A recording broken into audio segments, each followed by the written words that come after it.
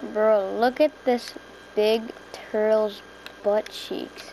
It looks good enough to snack like a big McNugget cheeseburger.